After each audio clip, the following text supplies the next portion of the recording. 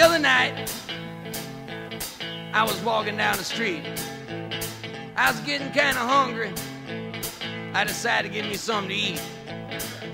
Now, I passed up all the chain franchise joints on Hamburger Row and stopped at a little greasy spoon place I always eat at called Eat.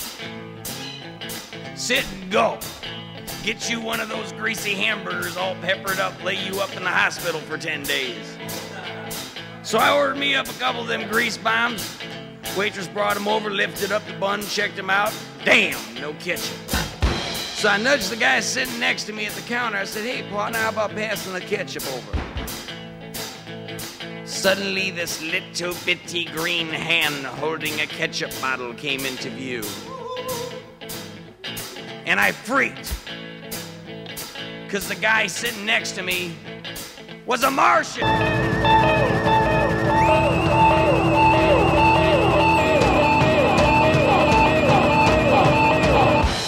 Now, in 28 years eating hamburgers, I ain't never run into no Martian. Not at 2.30 in the morning, and certainly not at a fine scarfing establishment like Eat. Well, he was sitting over there with a bunch of colored sticks on his plate, and I looked over at him and I said, What you eating there, boy? Crayons? And he said, Why, no, they're Martian cigarettes. Here, try one. Well, about half hour later, he looked over at me and smiled. Them old Martians ain't got but two teeth in their head. And he said, How do you feel? and I said, Well,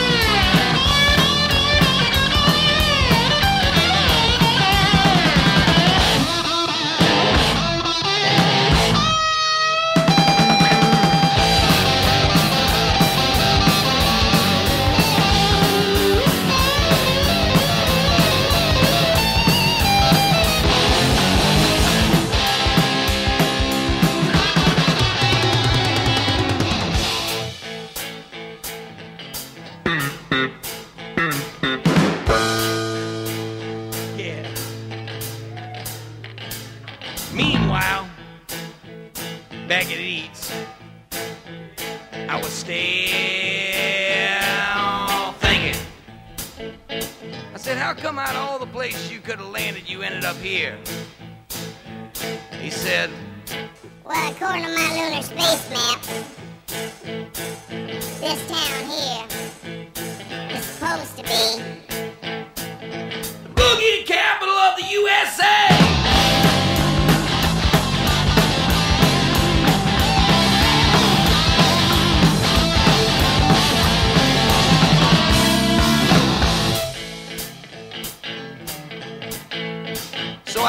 I asked him, I said, now where else you been, boy? And he told me. Said I rocked him over and I rocked him down. Rocked him in the country, I rocked him in town.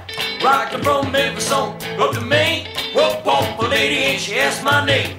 Told him the name was on tail of my shirt. I said, Rocket Chair Martian don't have to work. Yeah, I feel so good.